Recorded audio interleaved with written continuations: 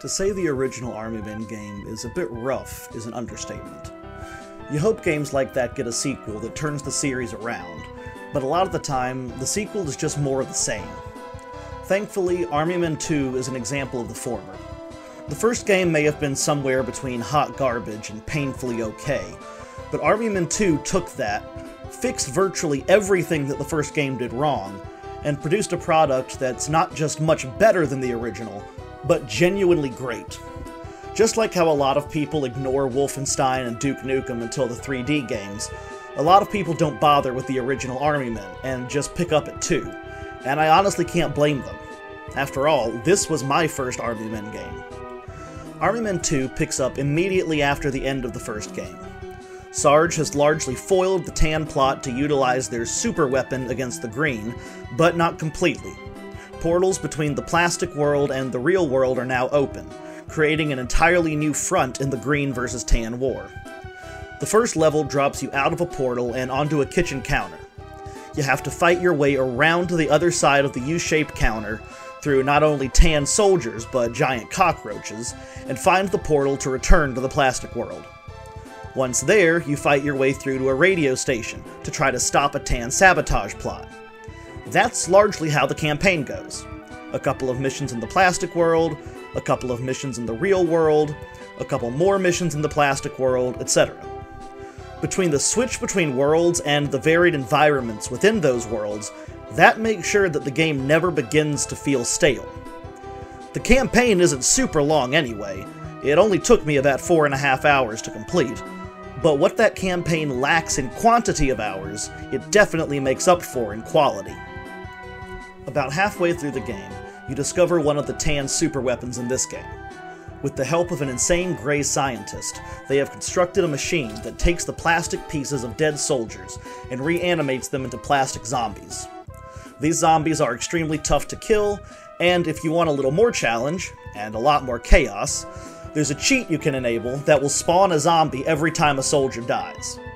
Personally, I love this, because these guys are already made entirely out of plastic, so it's not quite as left field as if you were playing through a battlefield game and Russian corpses started reanimating and trying to eat you. In addition to the short but extremely fun campaign, there's also a multiplayer mode. I'm not sure if this still works online, I honestly never checked, but what I always do is set up a game against AI bots and have a huge green versus tan versus gray versus blue four way fight.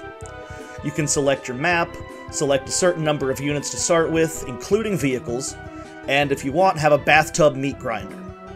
This is one of the most important improvements over the first game, at least to me. The campaign is significantly better, but it is very short, shorter than the original games. The multiplayer, however, is several orders of magnitude better, and it alone could keep me entertained for an entire day, sun up to sundown.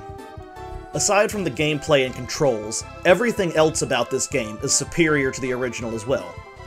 Visually, it still looks like a game from a quarter century ago, but it does look much better than the previous game. Sound design doesn't even feel like the same series. Whereas the original game's sound design and music were downright painful after a level or two, the weapon sound effects are much improved here, and the soundtrack is not only tolerable, but legitimately good and fits the tone of the game to a T. The voice acting, while still turn of the century, gives English dubs a bad name quality, it is also much improved over what the first game had. Army Men 2 is one of the single most nostalgic games for me and it reminds me of my early childhood. Back before clicks, before we started liking girls and or boys, back when my friend Richard and I were just a couple of military-obsessed eight-year-olds, before he went off to the Navy and I went off to become a teacher, there was Army Men, and it was our prepubescent boyhood daydreams come to life. Army Men 2 isn't the best PC game. It's not the best turn-of-the-century game, and it's honestly not even the best Army Men game but it is probably my favorite Army Men game.